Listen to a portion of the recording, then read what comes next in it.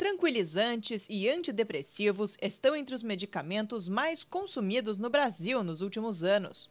Normalmente são indicados por psiquiatras para combater ansiedade, depressão e transtorno bipolar.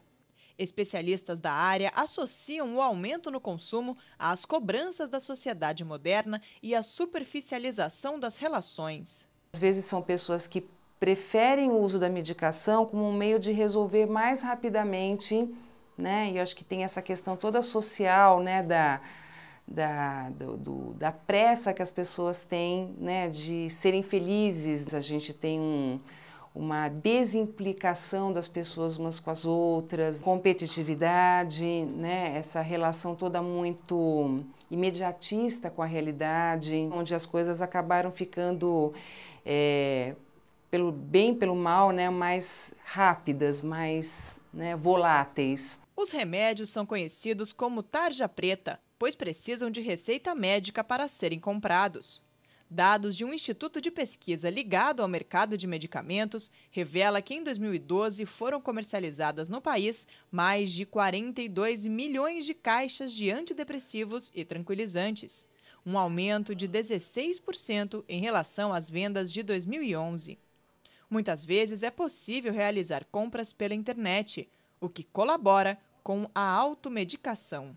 O sistema público de saúde é, oferece um atendimento bastante precário aos pacientes que apresentam transtornos mentais, como depressão. Isso pode levá-las, levar essas pessoas a buscar por conta própria a medicação. Isso é um grande risco. É importante lembrar que depressão pode ser ocasionada por doenças clínicas, muitas vezes doenças clínicas graves, é, um quadro depressivo pode ser secundário, por exemplo, a um problema tiroidiano. Então, se você não identificar o problema tiroidiano, você vai mascarar esse problema e vai agravá-lo cada vez mais.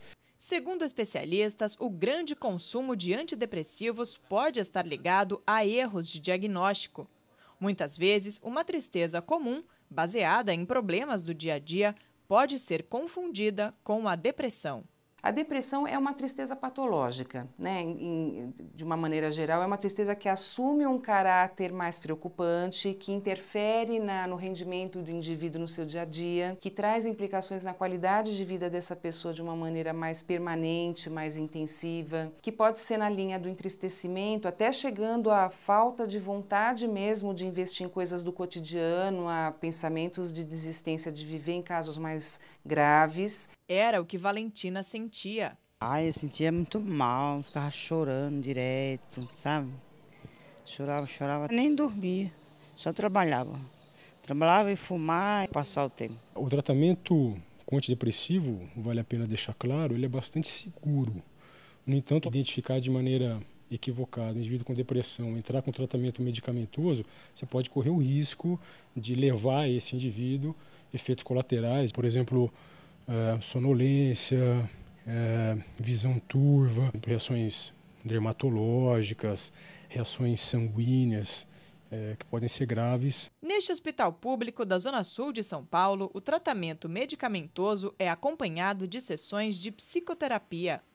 Aqui, os pacientes são estimulados a fazer atividade física, encontrar algum hobby e participar de atividades em grupo. Valentina frequenta um grupo de apoio no próprio hospital. Esse negócio de depressão vem com muita coisa, né? Nervosismo, que você não sabe o porquê, que está acontecendo aquilo. E a psicóloga vai tirando tudo isso da gente. Tudo que a gente passa na semana, chega aqui, né?